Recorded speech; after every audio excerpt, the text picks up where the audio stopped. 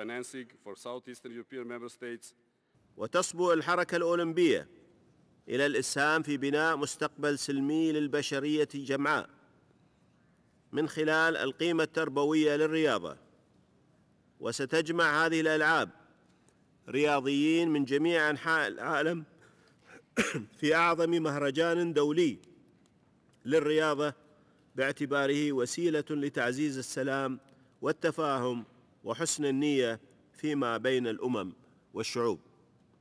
وهي أهداف تشكل أيضا جزءا من القيم الأساسية للأمم المتحدة.